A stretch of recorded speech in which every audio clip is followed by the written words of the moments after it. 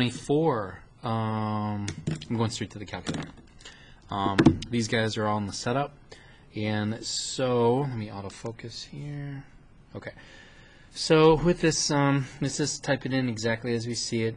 This is a compound interest problem, and it says compounded monthly, and we want to know what the account will be after eight years. Well, that's the easiest form, because that is just a straight calculator. Three, four, two, four.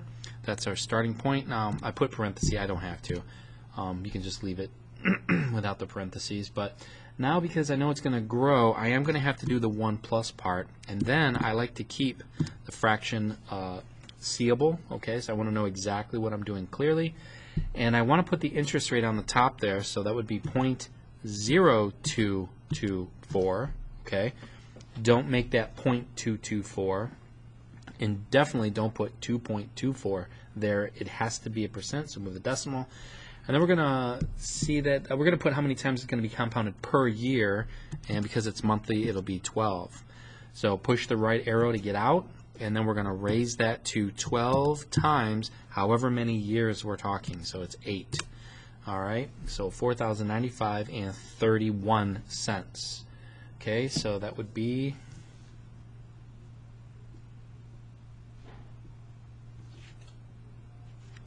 Yeah, okay, it's C. I don't know where I was looking, but I couldn't see the answer. Okay, but it's C. Um, next, a little different. Now what I'm going to do is this is compounded quarterly, but why not just keep the same format? I'm going to copy this guy.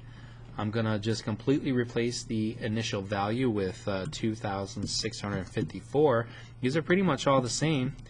Um, I got a different interest rate here at 0.588, 0.0 588. And this is going to happen quarterly, so that's just four times. So let's put DEL to get rid of that. We're going to switch up that 12 and just make it a 4. And this is going to be after 17 years. All right, so 7,159 and 16 cents. So, so that's B. All right, what about this? Uh, same thing, but now we've got continuously. So I hope you understand that this will now change the formula completely. We've got um, $6,126, but we're going to be using the continuous uh, continuous compound formula. So this is a change, okay? Basically, all of that rate on the inside with that exponent will produce the, the value E, which is 2.718 and then it's irrational, so it keeps going. So it's a very special number. I'm not going to get into that right now, though. Um, let's raise this. It's going up, so we'll have it a positive 0.0316, and then times uh, 10. All right, so it's an easier formula. 8,401 and 61 cents, so that's A. All right, what will the account balance be here? Same thing. It's almost the same exact problem. we're just going to change the numbers. And you're really showing me here in the study guide that you know how to switch up the formula. Uh, that's 6 to uh, 7, and we're doing this for 19 years. 12,503 and 87 cents. Okay. All right, now here's where it gets trickier because now how long will it take for it to equal that. Now here we've got to do some algebra, okay? Now you could use the tables. I'll leave that up to you, but I'm going to do it using a log because I actually think the log is faster. So let's set this up. Okay, we've got um, that much here. It's uh, compounded semi-annual. Oh man, it actually. Mm -mm. This is going to be easier to use the the cal calculator. I'm doing that and because it's multiple choice too. You can see that the numbers are small here, so let's go straight to a table here. Um, it's easier when it's continuous. You can solve for that a lot a lot quicker, but um, we're definitely going to use a table here. I changed my mind. Actually, I'm putting my hand up because that's where I'm going to edit it. Cool. All right. Um, I might edit it. if I forget, if I forget to edit this, it's going to be stupid. Um, so let's go um, y equals, okay? Let's turn off our plots. We're going to go to y equals because we need a table to give us a whole bunch of values of whatever we want, whenever we want. All right, and but we're going to put this in there exactly as we see it. Semi-annually is 2, so 1 plus. Put in that fraction. Uh, that guy is a percentage, 0.04, and it's going to be 2. And we're going to raise that to the 2 times x. Okay, 2 times x. Normally we would put t, but it doesn't matter. Um, and then what we, we want a table that'll automatically put values in it, and we want to know when is it going to equal $2,452.28. Now my guess is that it is not going to take too long. I just did, um, it's going to be these small numbers here, so I just did started my table at 0, and I'll go up by 1. So now when I go to the table, you can see here that I'm looking for that guy, and that happens right there at year let's see let's push over let's see what it get rounded rounded it up to three so that's the 28 so that is at four years. Okay so the answer is D. All right same with this guy. Now you could use um, I mean yeah why not? Let's just use the calculator right? Um, 4705 we could use logs but um, but whatever. 2% compounded continuously, and we're going to multiply that by x. Okay, so there's the 2%. And now I'm going back to my table set, start at 0, go here, and we're looking for 6,225. You can see that we're 6,000 right there. So, and 33 cents, yep. So that's exactly 14 years there. Okay, that's when that happens. That is a fast way to do it. Um, it's yeah, so you don't even need logs to solve for those um, because we've got logs here that we'll be careful of.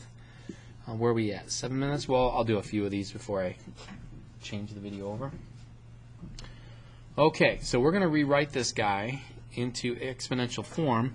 So what we're saying is is that when you have a log, the log equals an exponent. Oh, my video froze.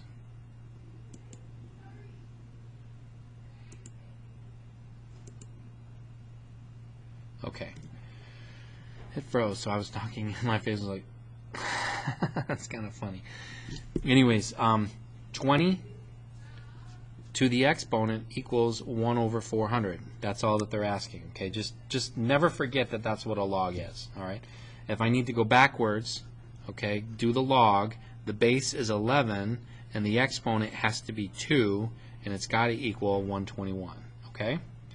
So just remember that we do a loop.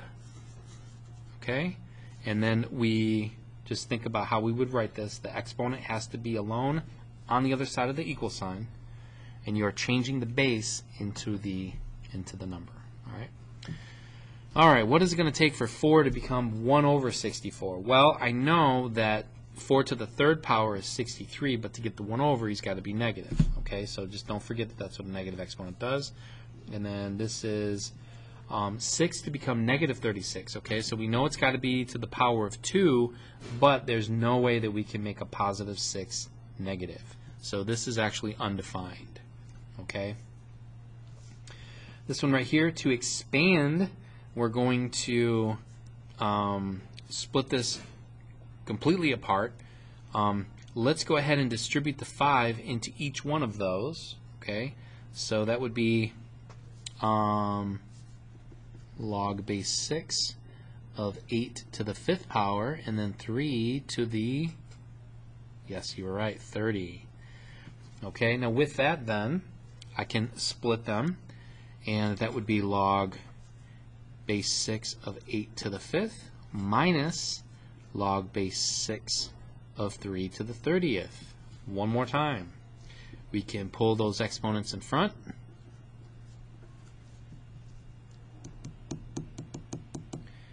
Minus, and then put the 30 out in front. All right, and that's it. That's as far as you can go. Okay, so you probably thought you'd put the 5 in the front here. Now, if you did do that, okay, you would have to distribute the 5 to this guy and the 5 to this guy. So what would end up happening is that there would have been a 6 out in front, and when you distribute the 5, it would have became 30. So either way it'll work. It's just you got to remember that if you're going to take that 5 first, you'll have to distribute to both of these guys that are going to separate um, the logs. Okay. Likewise with this guy, this 6. Um, let me actually do it that way. Let's say that I took the 6 out. Okay. All right, and then now I've got. Um, I'm going to take these steps a little carefully. I don't want I don't want to go too fast here. Okay. Now what I've got here is this. Okay, I have split those, but notice that I put the brackets. Okay, I put the brackets because um, the six applies to both of them. Okay, I like it doing this, just distribute it first, but we can distribute it later. That is totally legit move. Um, that three is going to come out in front now, and this guy will stay the same. So then our final move, we will distribute those and oh that's why sorry. Okay. And that's it. And now we don't have brackets because we distributed the six. Okay? All right. We will do this last one. Now we're going to squeeze it together. So let's put the six back into it. Okay we'll do that with one step. Okay we're going to put the 18 back into uh, into the log as an exponent and then we're going to squeeze these guys together but because you have addition in between these logs, they're just going to be multiplied.